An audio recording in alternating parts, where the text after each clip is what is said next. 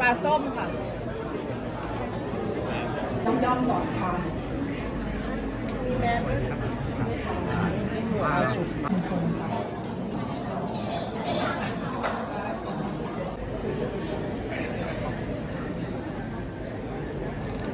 จากเดิมที่เคยได้รายได้แค่พันสองพันนะครับเงินผู้พิการเขาสามารถเพิ่มขึ้นเป็นสองพันถึงห้าพันบาทจริงๆต้องเรียนว่าทางจังหวัดภาคตะวันออกเฉียงเหนือนะคะแถวๆนอนหนองคายบึงกาฬนี่นะคะจังหวัดที่ยังมีการออกความรักอยู่ค่อนข้างเยอะนะคะเพราะฉะนั้นเนี่ยสาหกิจของสิงคโปร์เองเนี่ย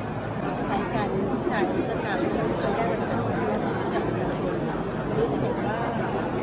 ที่รัฐบาลรอยของเราเนี่ยนะคะตอนนี้ก็ออกมากมายบูธเหล่านี้คืออะไรคือบูธที่เราได้ใช้งานวิจัยนะคะนี่ก็เอามาออกแบบให้ทำสามารถสะดวกกระเป๋ามีค่าอยู่เพราะว่านี่คือคือมีความรู้มีโลหะ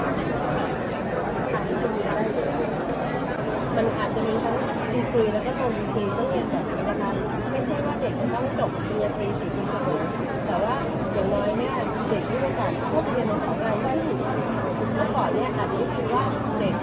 สอบติดแล้วไม่มีทุนเรียน แต่เราอาจจะไม่ได้เคยรู้ว่าอีกมุมหนึงก่อนที่เด็กจะสอบติดคือเด็กไม่มีเงินสมัครสอบ